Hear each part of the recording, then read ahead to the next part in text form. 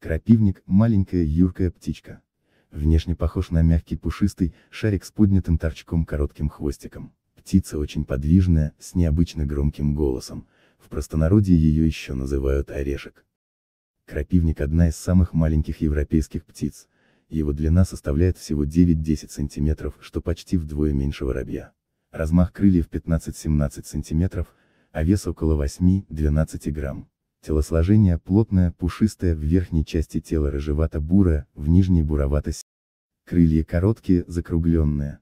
Хвост также непропорционально короткий, около 3 см, и зачастую вздернут вертикально вверх. Клюв шеловидный, тонкий, слегка загнут вниз. Самцы и самки внешне друг от друга не отличаются. Молодые птицы также существенных отличий не имеют, хотя у них на спине преобладает ржаво-красный тон, а на голове перья ярко-коричневые, с темными каемками на вершинах, которые у взрослых птиц не выросли. Распространен как в Евразии и Северной Африке, так и Северной Америке. Полагают, что изначально крапивник был исключительно американским видом, поскольку все остальные виды крапивниковых, а их более 60, обитают исключительно в Новом Свете. Место обитания крапивника – сырые хвойные и смешанные, реже лиственные леса с густым подлеском, заросшие овраги, пустыри, прибрежные заросли рек и ручьев. В редких случаях может поселиться и среди скал.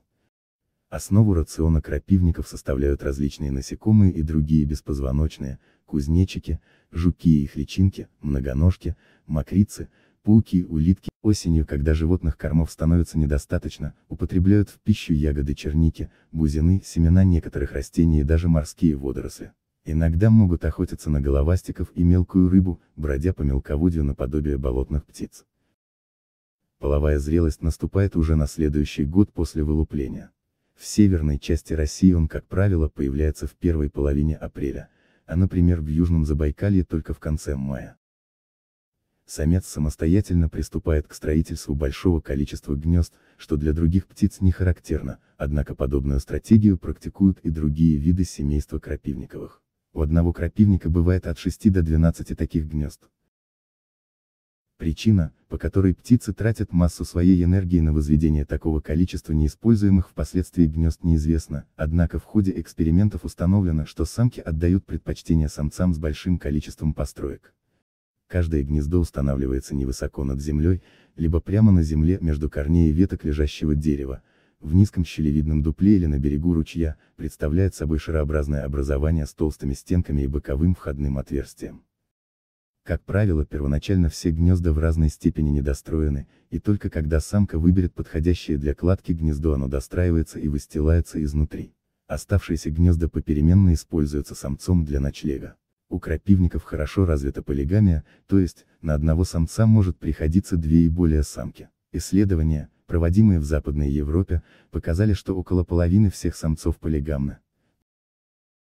За сезон у крапивника бывает одна или две кладки, первая из которых в Центральной Европе приходится на апрель-май, а вторая на июнь-июль. Кладка состоит из 5-7 белых с красноватыми пятнышками яиц.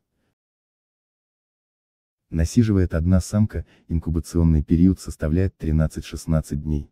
Ухаживают за птенцами оба родителя, однако в случае полигении роль самца в этом процессе может заметно снизиться. Гнездо птенцы покидают довольно быстро, уже через 11-12 дней. В Евразии крапивники часто становятся жертвой обыкновенной кукушки, которая подбрасывает им в гнездо свои яйца.